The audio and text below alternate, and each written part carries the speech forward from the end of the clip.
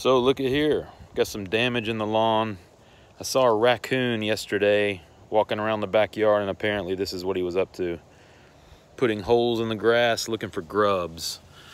As you can see, they just chew out holes in the ground looking to eat some grubs. This is the time of year, late fall, I'm sorry, uh, late summer, early fall. And they just tear up the lawn. I've only got, thankfully, kind of a small section here but it's just annoying. And you can get this damage from either armadillos or raccoons or even crows. If you see crows walking around your yard, they're probably uh, looking for grubs this time of year. Thought I'd share, but uh, you know, note to self to put down some grub killer